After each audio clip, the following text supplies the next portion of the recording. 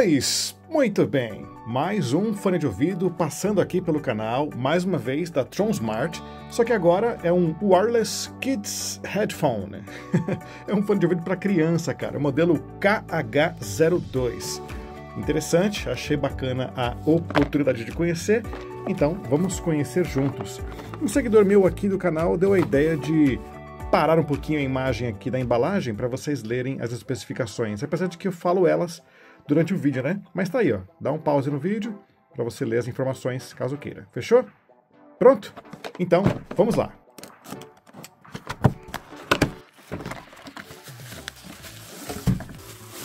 E voilá! É isso que vem na embalagem. Panfletinho da Tronsmart, manual de instruções, cabinho de áudio auxiliar P2P2, cabinho USB para carregar a bateria do fone com conexão USB-C e, claro, o próprio KH02. Olha só, simpático mesmo. Esse modelo de headphone tem em duas cores, esse aqui na cor azul e tem também o modelo rosa. E aí você escolhe qual você acha mais bonito. Bom, aqui pela minha mão dá para ver que o fone ele é bem feito, porém toda a sua estrutura, 100% dela é feita em plástico não é um fone premium, claro, né? Afinal, o foco é para criançada, mas ainda assim existe bastante qualidade na construção. Mesmo sendo um fone pensado para crianças, ele tem uma boa abertura e, claro, tem aqui regulagens para que possa caber nessas pequenas caixas d'água que a gente chama de cabeça. Dá a impressão de que ele pode ser frágil, porque a gente gosta de ver essas estruturas reforçadas com metal, não é? Mas cara, olha isso aqui. A envergadura é bacana e ó, absurdamente maleável. Cara, é bizarro como isso aqui tem resistência à torção. Excelente, quero ver uma criança quebrar isso aqui. Na concha da esquerda não temos nada, nenhum botão, nada mesmo. Já na concha da direita temos aqui os botões de comando. O botão que liga e desliga, um LED de indicação, as setas de comando, ou também poderia ser mais e menos, conector USB-C, conector P2 para o cabo auxiliar Aqui temos o microfone e aqui é o pulo do gato, porque fone de ouvido para criança você tem que ficar atento sim, conforme a potência que o fone emana. E aqui temos um controle de volume, ou melhor, é um controle de filtro de decibel. O mais baixinho aqui fica limitado para 74 decibéis, pode limitar para 85 ou 93 decibéis, o que é excelente para manter aí a saúde auditiva da sua criança. As almofadas são interessantes, não é uma maciez incrível, mas também não é nada muito rígido. Este material aqui, esse courinho, ele é um pouco mais grosso que o normal, ok? Acho que também para garantir resistência, não é? Aqui dentro não é acolchoado, mas tem esse tecido para dar acabamento. Por dentro costura padrão, bem feitinho. O que eu achei interessante é que a concha com o alto-falante tem este pequeno movimento de amortecimento, olha só, para várias direções. Tá vendo? Nada muito absurdo, mas achei legal isso aqui porque facilita na hora de vestir, dando um pouco mais de conforto, com isso se adequando às cabecinhas dos seus catarrentos.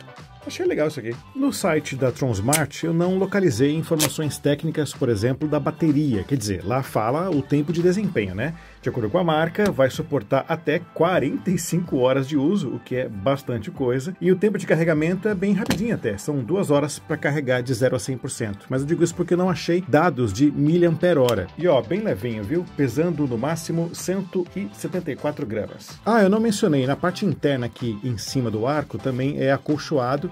Material aqui é o mesmo material das conchas, é bem gostosinho ao toque.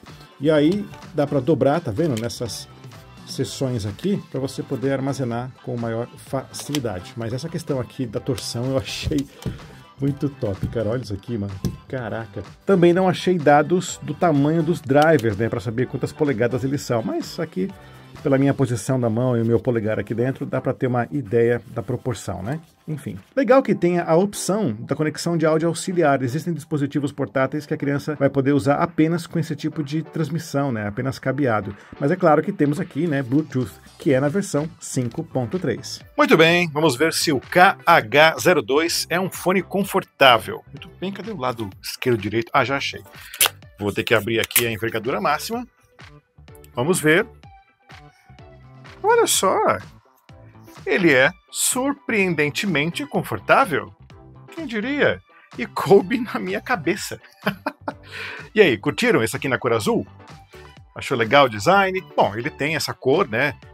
Que as crianças adoram, essas cores mais vivas e tal. Mas e aí, você, adulto, usaria um desse na rua? Ah, eu usaria. Não tem vergonha, não. Vamos saber se o microfone do KH02 é bom.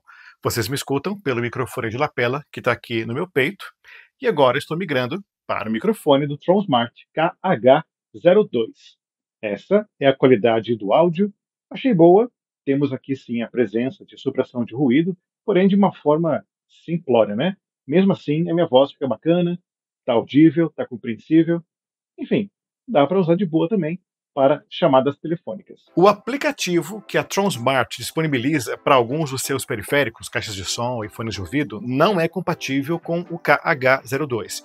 Você basicamente vai conectar o Bluetooth e vai dar play na música. Os botões de comando acessam as funções básicas do seu player. O botão principal aqui de ação, da play e da pause, e as setas avançam e retrocedem a música. Só isso. Não tem aqui um botão que acessa o seu assistente pessoal. Então é basicamente playback, avançar e retroceder. Então vamos lá, deixa eu dar aqui o play na música. Muito bem, estou já executando. Nossa! Bom, a chave seletora está no volume mínimo, ah, aqui na frente. Aqui no meio, 85 dB, é uma voz de uma criança, que fica indicando a potência. 93 dB, o volume do fone está no máximo, olha! E aqui no smartphone, caramba, deixa eu ver aqui o nível mínimo. 74 dB, que legal, uma vozinha de criança que fica indicando o nível de decibel. Aqui ele realmente cortou bastante volume, tá bem limitado. Mas, mano, vocês não vão acreditar na qualidade do som desse fone. Deixa eu pôr aqui no máximo de novo. É inacreditável. Agudos cristalinos calor nas frequências médias, presença e tem grave. Uau! Cara, é uma pena que ele tá limitado no volume. Que doideira, cara. Eu tô aqui mexendo no fone, mas para entender, 93 dB é o máximo que ele vai entregar, tá bem limitado.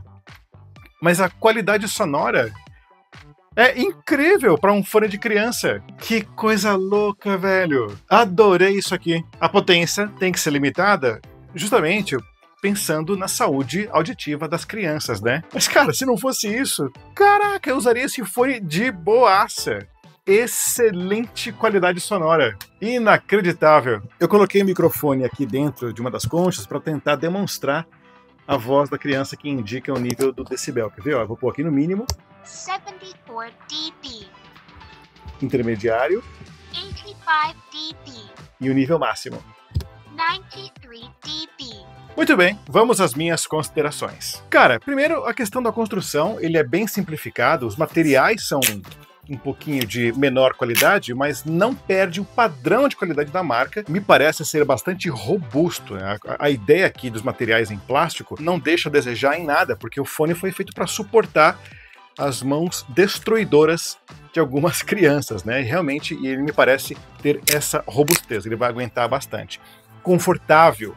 Cara, ele é definitivamente um fone muito confortável e isso é surpreendente também. Outro fator que me chamou a atenção aqui, que é o ponto forte desse fone, é a qualidade do som está acima da média de vários fones de entrada do tipo over-ear, né, ou headphone, que aqui, cara, se não fosse um fone focado para crianças, eu poderia indicar facilmente para qualquer pessoa. E aqui também está a questão da limitação do volume, que é muito importante. Isso também deixa claro que esse fone é focado para a galera mais jovem. Crianças podem usar esse fone aqui sem nenhum medo de causar danos aos ouvidos. Mesmo que a criança teimosa, ela aprenda, né, e coloque aqui no nível máximo, ainda assim, ele tem uma certa limitação. Por isso que não é pra gente que curte aí músicas com maior volume, maior punch. Punch é o detalhe também que eu devo mencionar, como esse fone tem um grave interessantemente forte, limitado a esses níveis de decibel, ok? Você não vai destruir o ouvido do seu filho, fique tranquilo. Mas é realmente interessante como que ele tem grave com potência. Essas são as minhas notas sobre o que eu penso do KH02 da Tronsmart. É realmente surpreendente a qualidade do som que esse fone entrega. Eu não esperava tudo isso, eu acho que nem precisava de tudo isso, mas a criança que for usar esse fone aqui já vai ficar mal acostumada com um nível alto de padrão de qualidade sonora. Se você curtiu esse unboxing, me ajuda clicando no joinha, compartilhando esse vídeo e, claro, se inscrevendo aqui no canal. Bem, meu povo, por enquanto é isso. Até o próximo vídeo. Aquele abraço. Tchau. Fui!